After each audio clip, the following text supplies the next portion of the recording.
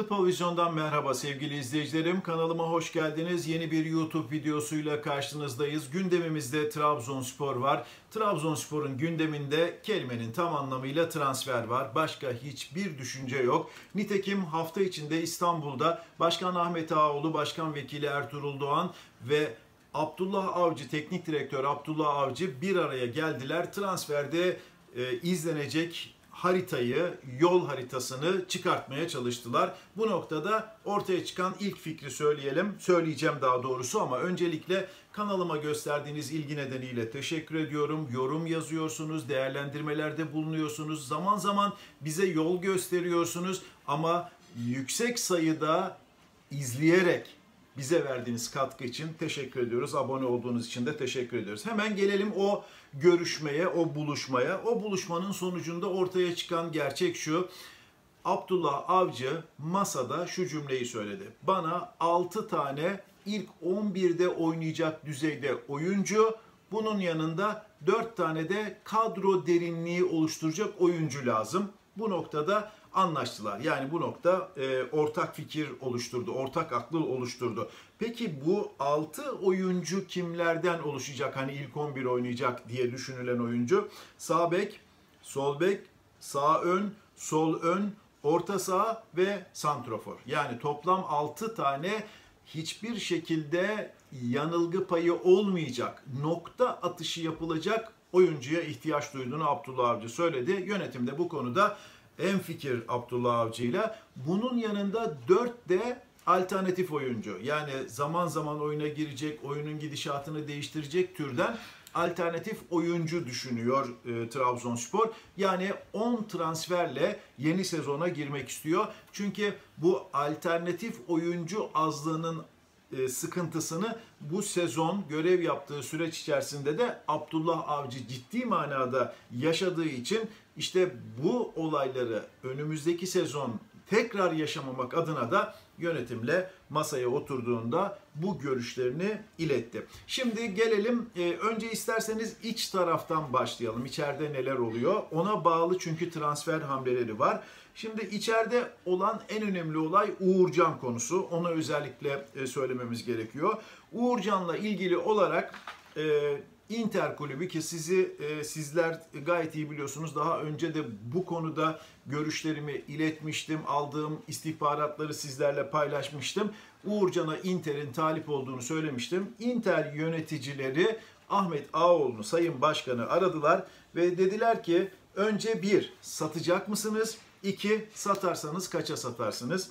E, satacak mısınız sorusunun yanıtı evet oldu. Peki ne istersiniz sorusunun yanıtıysa 30 milyon euro rakamı ortaya çıktı ki bu gerçekten de çok fazla, çok yüksek bir rakam diye düşünüyorum. Bu noktada zaten e, Inter'in 20 milyon euro ile geleceğini biliyoruz. Şimdi Uğurcan'ın yalnız sezon sonunda gideceği kesin. Yani bu noktada hiçbir e, kuşku ve şüphe yok. Başkanın daha akılcı bir ücretle bu işi çözmesi gerekiyor. Buradaki temel sorun şu. E, başkanın düşüncesi şu daha doğrusu. Eğer Avrupa Şampiyonası'nda oynarsa ben 30'u görürüm ama oynarsa hata yapmazsa, herhangi bir sorun yaşamazsa, oysa bu 20 milyon euro aslında cepteki para her zaman daha değerlidir diye düşünüyorum. Ama sonuçta yönetim e, böyle bir karar alırsa bizim söyleyeceğimiz fazla bir şey yok. Ama fırsatlar elinize geçmişken değerlendirmek lazım. Peki Uğurcan giderse ki bence net gidecek sezon sonunda. Uğurcan giderse ne olacak? Uğurcan giderse olacakları da söyleyelim. E, Trabzonspor'un elinde 4 tane kaleci var. Şimdi Trabzonspor iki konuda tereddütte. Bir, bir genç kaleci alsak Doğan Alemdar ya da Göztepe'de oynayan İrfan Can Eğribayat gibi bir kaleci alsak oynatsak mı? Ee, işte hem oynatalım hem de geleceğe yönelik bir e, tasarruf olsun mu? Yoksa zaten elimizde Erce kardeşler var. Arda Akbulut var. Kaan Moradoğlu var. Turgutlu Spor'da kiralık olan Muhammed Taha Tepe var. Bunların önüne bir tane tecrübeli kaleci alıp bunlardan bunların gelişimini bir beklesek bu konuda henüz net bir karar verilmiş durumda değil. Ama işte kritik cümleyi söylüyorum. Abdullah Avcı diyor ki bana önümüzdeki sene Uğurcan Çakır lazım. Ancak Uğurcan Çakır da benim artık Avrupa'ya gitmem lazım diyor. İşte bu ikilemde kalındığını da net bir şekilde söyleyeyim. Tecrübe e, önüne bir tecrübeli kaleci olursa Mert Günok konusunda e, Abdullah Avcı'nın ısrarcı olduğunu, ben bir tecrübeli kaleci istiyorum dediğini net bir şekilde biliyoruz. Şimdi e, transfer dedik ya işte sağ bek, sol bek. İsterseniz o sol bek meselesindeki son gelişmeleri de size aktaralım. Biliyorsunuz Umut Meraş'ı istiyor Trabzonspor. Umut Meraş konusunda Le Havre 3 milyon euro dedi. 1.2 milyon euroya aldığı oyuncu için 3 milyon euro dedi. Ben e, bir yıllık sözleşmesi var. Bu noktada bir ortak e, yere varılacağı konusunda görüşüm var. E, bir ortak yere yani bu işte 2 olur, 2 2 250 olur. E, çünkü netice itibariyle de e, aldığı oyuncuyu aynı paraya satmak istemiyor. Bir yıllık süre kalmış olması da Trabzonspor'un elini güçlendiren bir olay olarak karşımızda duruyor. Ve gelelim e, şimdi dedik ya sol bek dedik. Şimdi sağ ön tarafı söyleyelim. Zaten bilinen Edin Visca işte ki Efecan Karaca ile ilgili e, Alanya Spor Kulübü Başkanı gerçekten Hasan Çavuşoğlu çok sert bir açıklama yaptı. Oyuncularımızı e, teknik direktörler arıyor dedi. E, yani Efecan Karaca'yı Efecan Karaca'yı çok net bir şekilde Abdullah Avcı'nın istediğini biliyoruz. Ama alternatif isimlerden biri olarak düşündüğü Halil Akbunar var ki Halil Akbunar bu sezon 22 gole katkı yaptı. A milli takıma yükseldi. 10 gol 12 asist yaptı. Müthiş yani. Çok iyi bir performans gösteriyor. Ama sözleşmesi devam ediyor. Şimdi Trabzonspor Halil Akbunar için bir çözüm üretmeye çalışıyor. Diyor ki e, şöyle yapalım diyabete sizde kalsın. Yani onun da zaten yaklaşık 2 milyon euroluk bir değeri var. Üstüne Abdülkadir Parmağı da veririz. E, orta alan oyuncusu çünkü Ünal Karaman onu istiyor biliyoruz. Ve bir miktarda parayla bu transferi gerçekleştirelim diyor. Akla da çok uzak değil ama Halil Akpınar konusunda benim düşüncemi soruyorsanız açık alan oyuncusu olması nedeniyle e, kendisin kendisi bayağı zorlanacaktır Trabzonspor'da ama kalitesi işte belli. E, yani 10 gol 12 asist de mükemmel bir performans. Mutlaka hoca ondan verim alacağını düşündüğü için böyle bir e, transfere sıcak bakıyordur. Onu söyleyebiliriz. Hemen e, yani çok heyecanlandıran birkaç tane santrofor transferi ve forvet transferi var e, kanat transferi onları da söyleyeceğim ama gerçekten çok heyecanlandıran. Ama önce isterseniz işte e, bir genç oyuncu ismi yazıldı. Ben açıkçası çok fazla e, sıcak olduğunu düşünmüyorum o konunun. Ike Ugba Chelsea'de 22 yaşındaki Chelsea'nin oyuncusu Circle Bruges'da oynuyor ama bu sezon 32 maçta 16 gol.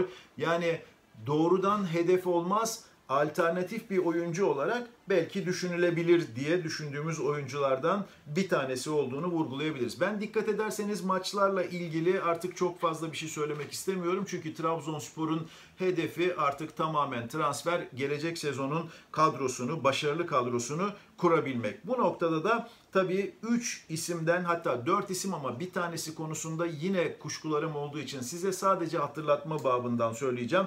Denisman isminden e, söz ediliyor. Denisman'la ilgili nabız yokluyor Trabzonspor.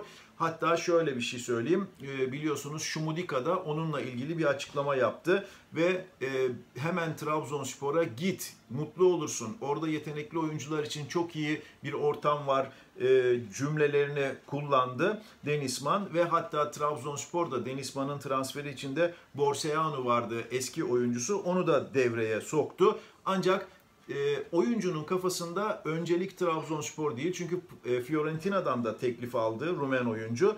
Öncelikle Fiorentina'yı düşünüyor. Eğer Fiorentina'dan bir e, olumsuz yanıt alırsak türünden bir e, açıklaması olduğu için ben Denisman konusunun çok e, önde olduğunu düşünmüyorum. Ama şimdi söyleyeceğim isimlerden e, isimlerin daha akla yatkın olduğunu vurgulayabiliriz. Bir tanesi Abdullah Avcı'nın gönlündeki oyuncu ve Türkiye'ye gelirse çok çok önemli işler yapar. Öncelikle şunları söyleyeyim.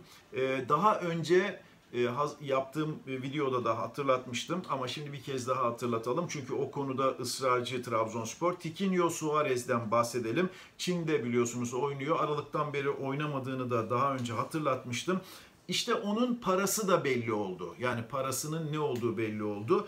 e, Brezilyalı oyuncu 30 yaşındaki Brezilyalı oyuncu için 2 milyon euro imza parası dahil olmak üzere isteniyor ki çok mantıklı. Ayrıca da e, Abdullah Avcı'nın e, onun e, Aralık'tan bu yana top oynamamış olmasının e, çok değeri olmadığını, sezon başı kampıyla çok iyi verim alabileceğini söylüyor. Çünkü Porto'da çok parlak bir 3,5 yıl geçirdi. 140 maçta 65 gol 19 asist yaptı.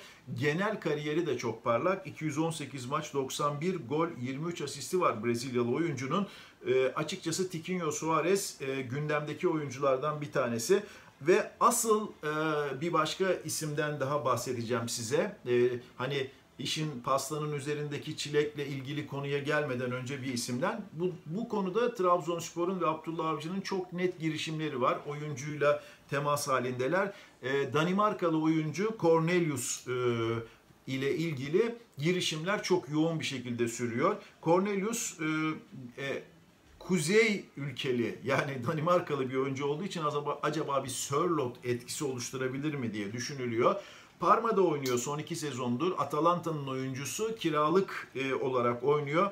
E, ancak 7 milyon euroluk satın alma opsiyonu vardı. Parma'nın bunu kullanma ihtimali olmadığı için Atalanta'ya dönecek. Neden kullanma ihtimali yok? Çünkü Parma küme düştü. Nitekim o küme düşmesiyle birlikte e, açıkçası Cornelius'un da e, beklentileri çok aşağıda kaldı. Yani kendi e, ka- kalitesinin çok altında kaldı. 25 e, maç oynadı. 1 gol, 5 e, asisti var. Bu onun için çok düşük e, profilli bir e, oyun. Oysa onun geçmişinde çok daha başarılı e, süreçler olduğunu vurgulayabiliriz. Yani başarılı süreçten dediğim bir sene önce e, İtalya Ligi gibi sert bir ligde 12 gol atmış bir oyuncudan bahsediyoruz ki bu da gerçekten e, Cornelius'un e, aslında e, imkan bulursa Sörlot gibi çok daha farklı bir yere geleceğini gösteriyor. Kuzey ülkelerinden gelen oyuncuların başarısı da açıkçası Trabzonspor'u ve Abdullah Avcı'yı etkilemiş durumda. Cornelius olmaya çok yakın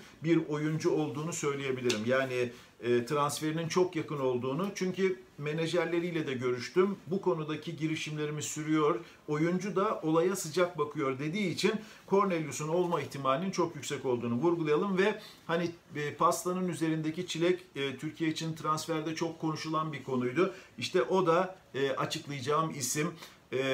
Abdullah Avcı onu bana alırsanız mükemmel bir iş yapmış oluruz diyor. Gerçekten de mükemmel bir iş yapar. Steven Berghuis e, ki e, Berghuis e, Feyenoord'da oynuyor. Aslında bir sağ kanat oyuncusu sol kanatta ve 10 numarada oynayabiliyor.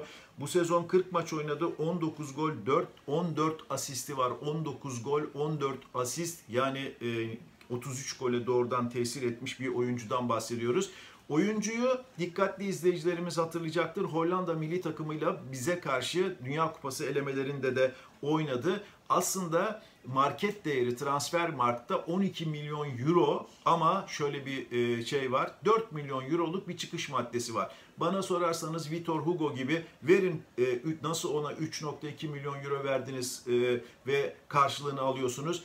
Bu oyuncu da eğer 4 milyon euro çıkış maddesi varsa ki var diye böyle bir açıklama var genel anlamda. E, hiç düşünmem hemen alırım. Steven Berghuis e, duran topları kullanabilen mükemmel bir sağ kanat oynarken sol ayağı olan bir oyuncu. Ama tabii e, e, transfer etmek ne kadar e, kolaydır, zordur derseniz o noktada belki e, sıkıntılar e, yaşanabilir. Ama iyi bir takım kurmak istiyorsanız bu sıkıntıların üstünden gelmek zorundasınız.